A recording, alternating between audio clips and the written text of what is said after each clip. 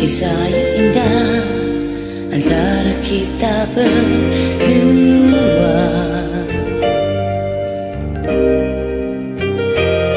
Sehingga di sini Tiada berpaling lagi.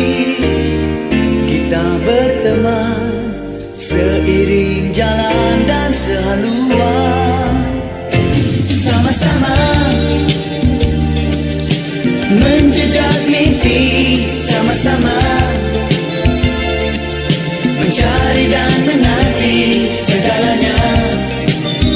Direstui cinta sejati.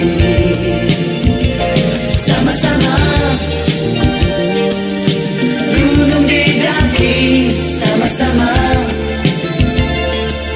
Turun ke lembah sepi Suka duka. Bersama dirasai